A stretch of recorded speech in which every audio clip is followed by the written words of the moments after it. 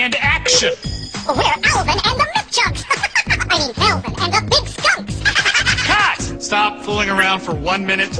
Alvin, move. Can we stick to the old script here? Cut! Please stop getting caramel sauce on your fur. Alvin, Alvin, Alvin!